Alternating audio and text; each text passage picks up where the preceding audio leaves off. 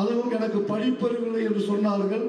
நான்காம் வகுப்பு தான் படித்தார் என்று சொன்னார் முதல் பெருமை இந்த இயக்கத்திற்கு திராவிட முன்னேற்ற கழகத்திற்கும் கலைஞர் அவர்களுக்கும் நம்முடைய அண்ணன் தளபதி அவர்களுக்கும் உண்டு. நான்காவது தலைமுறை என்று சொன்னார் இன்னும் ஐம்பது ஆண்டு காலத்திற்கு நம்முடைய இளநிலை செயலாளர்கள் இந்த நாட்டை ஆள்வதற்கு வருவார்கள். அப்படிப்பட்ட அனைத்து செய்திகளையும் உடனுக்குடன் தெரிந்து கொள்ள சப்ஸ்கிரைப் செய்யவும்.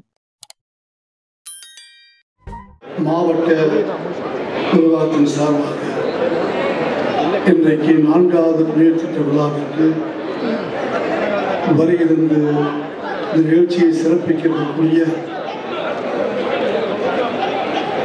நம்முடைய எதிர்காலம் தமிழ் சமுதாயத்தின் மக்களுடைய நம்பிக்கைக்குரியவராக எல்லோராலும் சின்னவர் என்று உரிமையோடு அழைத்து இன்றைக்கு இளைஞர் மற்றும் விளையாட்டுத்துறை அமைச்சராக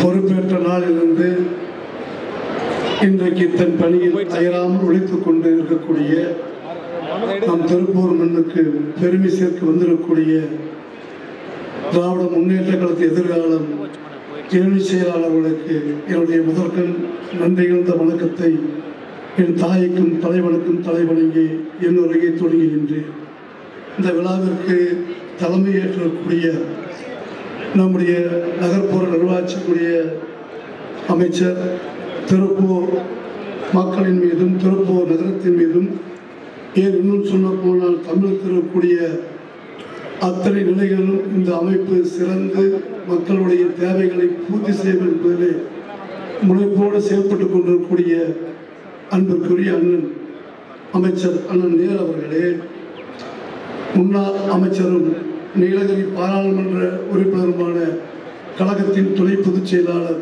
அருமைக்குரிய அருமை சகோதரர் ராசா அவர்களே திருப்பூர் நாடாளுமன்ற உறுப்பினர் அன்புக்குரிய அண்ணன் சுப்பராயன் அவர்களே இங்கே எனக்கு முன்னால் பல்வேறு செய்திகளை சொல்லி நம்முடைய திருப்பூர் மாநகராட்சி வளர்ச்சிப் பணிகளெல்லாம் பட்டியலில் காட்டு அமர்ந்திருக்கக்கூடிய அன்புக்கினிய தம்பி வணக்கத்திற்குரிய மேயர் தினேஷ்குமார் அவர்களே சுற்றுச்சூழல் அணியினுடைய செயலாளர் அன்பிற்கிடைய சகோதரர் கார்த்திகை சிவமு சிவா சிவசேனாபதி அவர்களே தெற்கு மாநகர செயலாளர் தம்பி டி. கே. டி. நாகராஜ் அவர்களே வரவேற்பு ஆற்றியிருக்கக்கூடிய மதிப்பிற்குரிய மாவட்ட ஆட்சித்தலைவர் அவர்களே இந்த நிகழ்ச்சியை சிறப்போடு செயல்படுத்தி இந்த நிகழ்ச்சிக்கு சிறப்பு சேர்த்துக் கொண்டிருக்கக்கூடிய மாநகராட்சி ஆளுநர் பவுன்குமார் அவர்களே மற்றும் இந்த நிகழ்ச்சியிலே பயனாளிகளாக வந்து பயன்பெற வந்திருக்கக்கூடிய அன்பிற்கினிய அருமை சகோதரர்களே தாய்மார்களே திரளாக பல்லாயிரக்கணக்கில் கலந்து கொண்டு திருப்பூர் மக்களுடைய தேவைகளை பூர்த்தி செய்ய வந்திருக்கக்கூடிய அருமைக்குரிய இளநிலை செயலாளர்களுக்கும் அமைச்சருக்கும் வரவேற்பளிக்க வந்திருக்கக்கூடிய திராவிட முன்னேற்ற கழகத்தைச் சேர்ந்த கழகத்தினுடைய முன்னணி தலைவர்களே அன்பிற்கினி அருமை தாய்மார்களே உங்கள் அனைவருக்கும் என்னுடைய வணக்கத்தை அன்புடன் தெரிவித்துக் கொள்வதிலே மகிழ்ச்சி அடைகின்றேன். நேரம் குறைவு.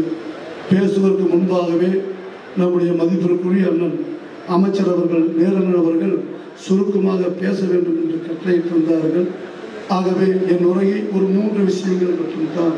ஒன்று ஆயிரத்தி தொள்ளாயிரத்தி தொண்ணூற்றி எட்டு தொண்ணூற்றி ஒன்பதாம் ஆண்டிலே திருப்பூர் நகரத்திற்கு தேவையான தன்ன தண்ணீர் பற்றாக்குறை மக்களுக்கு மட்டுமல்ல தொழிலுக்கும் பற்றாக்குறை இருந்த பொழுது தனியார் பங்களிப்போடு நம்முடைய அன்றைய நம்மில் வாழ்ந்து கொண்டிருக்கக்கூடிய நூற்றாண்டு என்ற தலைவர் ஐயா அதனுடைய தலைமையில் ஆண்டு ஆட்சியில் தான் மூன்றாவது திட்டம் திருப்பூர் மக்களுக்கு கிடைத்தது. அதற்கு பிறகு ரெண்டாயிரத்தி ஆறாம் ஆண்டு இந்த திருப்பூர் நகராட்சியை மாநகராட்சியாக தரம் உயர்த்தி அன்றைக்கு இருந்த இன்றைய முதல்வர் அன்றைய துணை முதல்வர் அன்றைய உள்ளாட்சித்துறை அமைச்சர் மாநகராட்சியாக தரம் உயர்த்தி திருப்பூரில் கடைசி நகரமன்ற தலைவர் என்ற பெயருக்கும் கடைசியில் கடைசியில் முதல் மேயர் என்ற எனக்கு அந்த வாய்ப்பை வழங்கியவர் நம்முடைய இன்றைய தமிழக முதல்வர் திராவிட மாடல் ஆட்சியின் தலைவரும் நூற்றாண்டு கால விழாக்காலும் நம்முடைய கலைவர் என்பதை இந்த மாந மாநகரத்து மக்கள் மறக்க மாட்டார்கள். சாதாரணமாக இருக்கக்கூடிய ஒரு சாதாரணமாக இருக்கக்கூடிய ஒரு தொழிலாளியை அதுவும் எனக்கு படிப்பறிவில்லை என்று சொன்னார்கள். நான்காம் வகுப்பு தான் படித்தார் என்று சொன்னார்கள். படிப்பு முக்கியமல்ல. இந்த இயக்கத்தின் கொள்கையை ஏற்றுக்கொண்ட எந்த தொண்டனாக இருந்தாலும் தாங்கள் இடுகின்ற கட்டளையை முழுமையாக நிறைவேற்றுவார்கள் என்று சொல்லி முதல் மேலாக்கிய பெருமை இந்த இயக்கத்திற்கு திராவிட முன்னேற்ற கழகத்திற்கும் கலைஞர் அவர்களுக்கும் நம்முடைய அண்ணன் தளபதி அவர்களுக்கும் உண்டு. அதே போலதான் இந்த திருப்பூர் மாவட்டத்தை மாவட்டமாக ஆக்கி இந்த மக்களுடைய தேவைகளுக்கு வளர்ச்சிக்கும் உறுதுணையாக இருந்த ஒரே இயக்கம் திராவிட முன்னேற்ற கழகம். தலைமுறை தலைமுறை காணும் முதல் தலைமுறை என்று சொன்னால் அண்ணா வருவார்கள் இரண்டாவது தலைமுறை என்று சொன்னால் நம்முடைய கலைஞர் வருவார்கள் மூன்றாவது தலைமுறை என்று சொன்னால் அண்ணன் தளபதி வருவார்கள் நான்காவது தலைமுறை என்று சொன்னால் இன்னும் ஐம்பது ஆண்டு காலத்திற்கு நம்முடைய இளநீ செயலாளர்கள் இந்த நாட்டை ஆள்வதற்கு வருவார்கள்.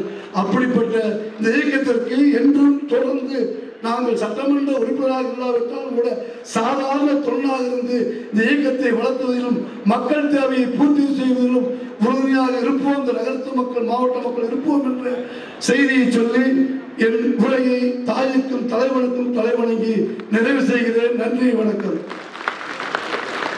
நம் திருப்பூரின் அனைத்து செய்திகளையும் உடனுக்குடன் தெரிந்து கொள்ள சப்ஸ்கிரைப் செய்யவும்.